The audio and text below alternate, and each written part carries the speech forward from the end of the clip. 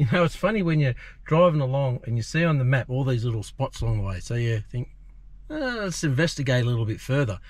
So I did. And as you see coming up, uh, there's a trail from Dub, no, from Molong to Dubbo, or Dubbo Molong, whichever way you're going. And there's a trail that's called, um, oh, what's it called? Animals on Bikes. So all the farmers have created sculptures from junk or whatever with animals and bikes, whichever way they thought appropriate, and they put it on the side of the road. And there's a marker on Wikicamps, so have a look. It's interesting. Put some of the uh, photos up that I took. If you are dedicated to take every photo, try not to have your caravan on. It's some are very hard to stop and take a photo with. I did the best I could with the van on and I didn't go all the way to Dubbo because uh, I turned off and went to uh, to stop off camp. But um, yeah they're interesting. Have a look. Just like that for the second night of my solo tour up north while Sylv's back in Melbourne I'm at uh, Ponto Falls Reserve. Throw it up it's um, it's right on a river. I think it's, I think it's the Wellington River. I'll just double check. I should have found that out before I actually said it. But this is it. See down there. Nice and full. There's a couple, couple more campers up there. There's more up there. At the moment, you can't well, we can't collect firewood. Uh, fire danger period too, so no fires. I'll have to do my meats on the barbecue. So, next update. Have fun. Good morning. Beautiful start to the day. Um, just up on a hill or mountain called Mount Kaputar. It's in the Mount Kaputar National Park and where I was last night down in Narrabri, nice and flat and everything.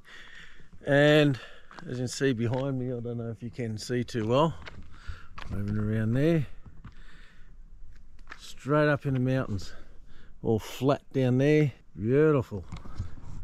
Just rose up out of the flats as it does, heading north. And um, so I thought I'd show you some oh, you know, 20 million year old bits of rock work. It's very nice.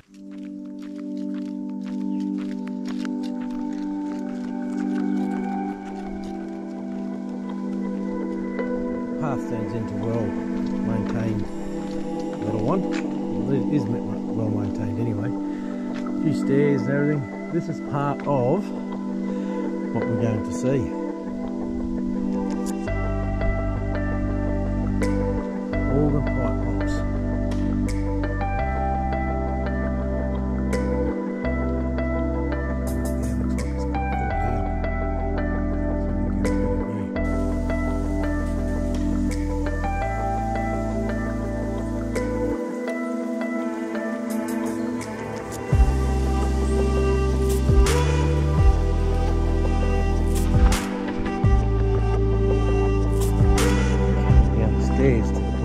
Little, I suppose you call canyon.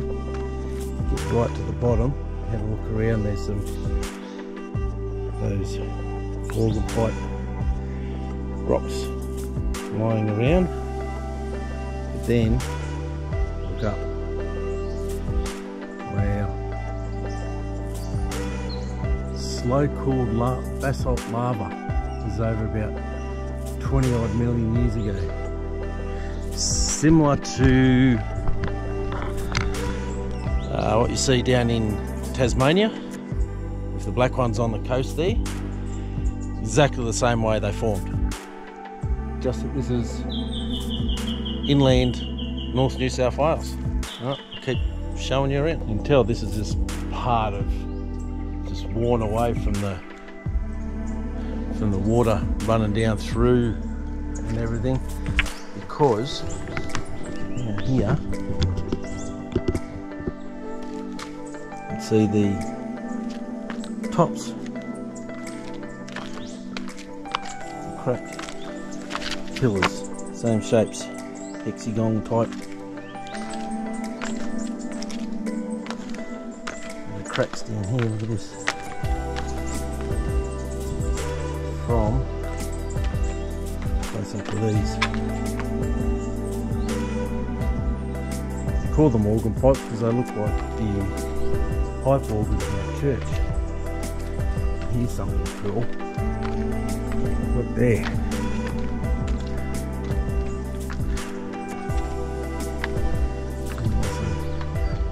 Of the big chunks falling down.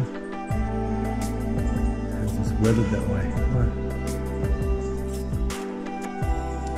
It looks like old ruins from a real old city.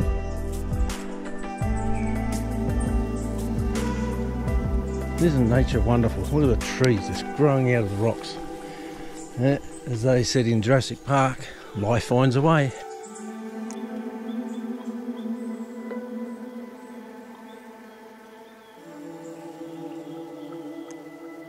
Unfortunately, what I read coming, and they said come in the afternoon, the sun lights it up better. They were right, but just didn't have time heading through early in the morning, so thought I'd just drop in and see. So if you're coming this way, try and make it in the afternoon.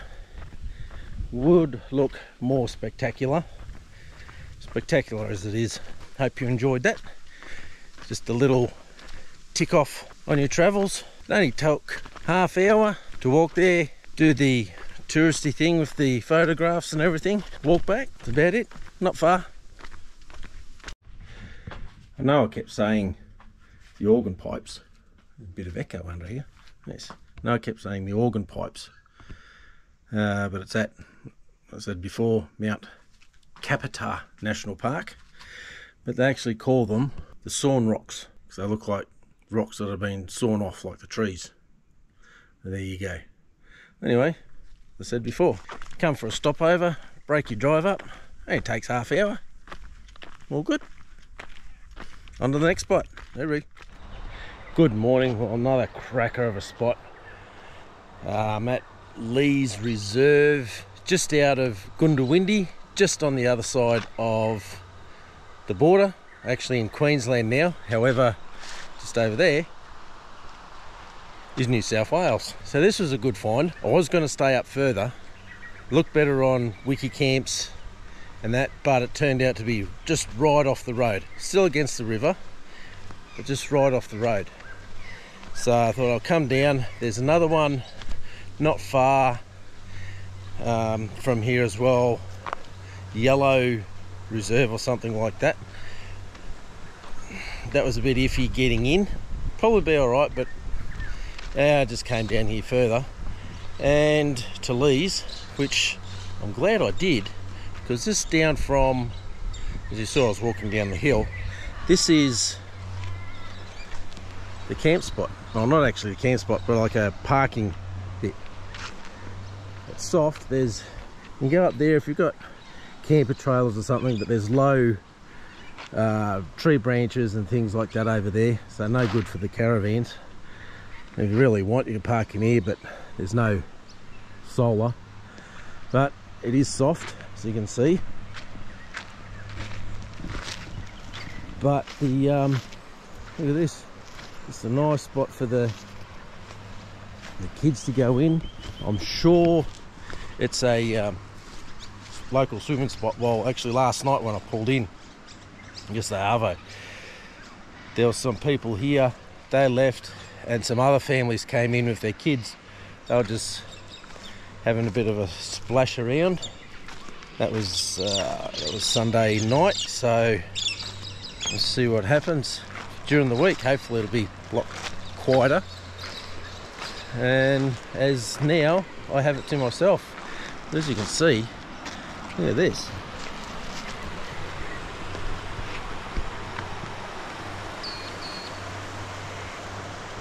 Beautiful. It's not that strong in there.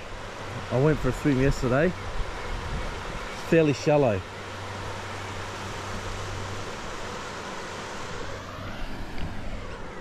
And I go again this afternoon as well. Apparently the fishing is top spot here if you're into river fishing. Actually, when I was in there, there was a couple of fish splashed out, probably, I don't know, 10, 15 metres away from me.